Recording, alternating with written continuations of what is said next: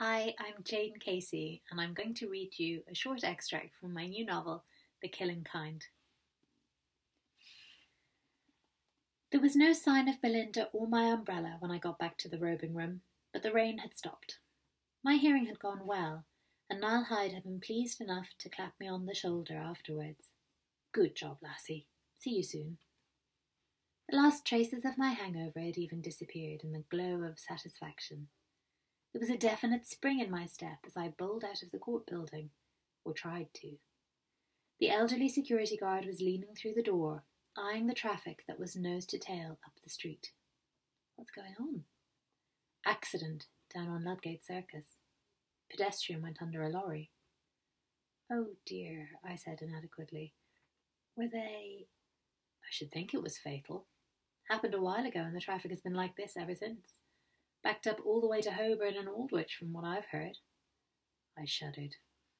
I never take a risk with crossing that road. No, you wouldn't want to. Happens every year. Don't expect the rain helped. He shook his head, his eyes watering. Everyone in too much of a hurry these days. That's what it is. I nodded, not having much to add to that, and being in a hurry myself because I had a case to prepare for the following day. I set off past the stalled traffic, thinking about work as I emerged from Old Bailey onto Ludgate Hill. I spared a glance for the imposing portico of Wren's Cathedral because what was the point of living in London if you couldn't nod to the classical grandeur of St. Paul's when you passed it?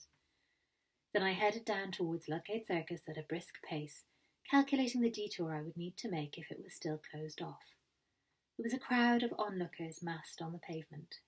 Because of the steep hill, I had a grandstand view of the lorry stopped in the middle of the intersection and the tent that was propped up against the front of it, hiding God knows what. I had prosecuted a death by dangerous driving once, and had learned enough about processing the scene to be able to understand what was going on. There was a cordon manned by grim faced City of London police that extended around the entire junction, and officers in fluorescent jackets were engaged in measuring distances and taking photographs. Circles of spray paint indicated where pieces of evidence had landed across the carriageway.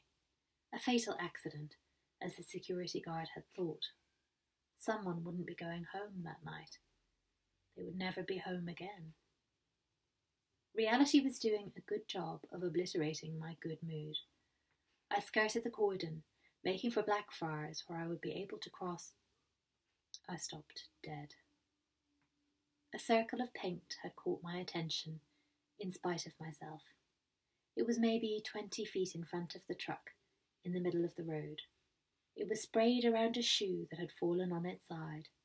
The paint and leather was cloudy with scratches, but it was still recognizably the same shoe that Belinda had been wearing earlier. High heel, pointed toe. No mistake. I hope you enjoyed that. The Killing Kind is available now from all Easons stores and online at easons.com.